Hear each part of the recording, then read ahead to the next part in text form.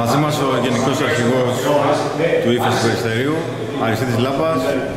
Πείτε μας λίγα λόγια για την ομάδα, τους στόχους της, πώς είδατε το μάτι σήμερα. Πιστεύω ότι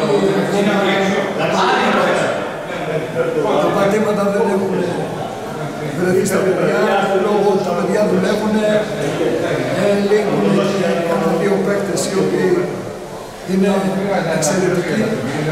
Προσπαθούμε και εμείς αντίθεση να μπορέσουμε να ψηφίσουμε. Ε, ξεκινήσαμε λίγο διαφορετικά.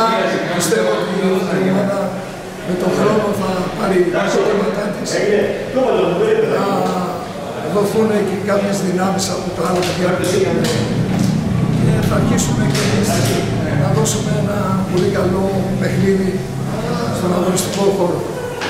Εγώ πιστεύω ότι πρέπει τα παιδιά, όλα τα παιδιά, δεν είναι μόνο τα παιδιά τα δικά μας, είναι και οι αντίπαλοι, γιατί βλέπω και τους αντιπάλους ότι ακόμα είναι πολύ νωρίς.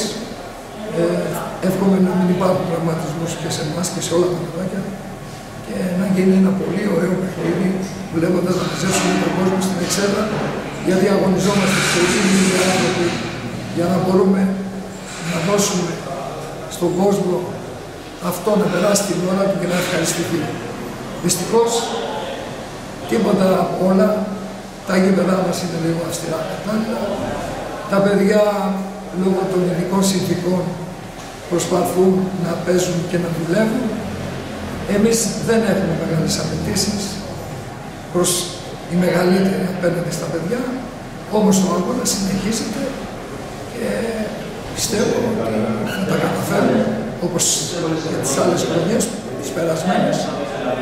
Και πιστεύω να γίνει ένα πολύ καλό πρωτάθλημα, να το ευχαριστηθεί και ο κόσμος και εμείς που είμαστε κοντά στα παιδιά.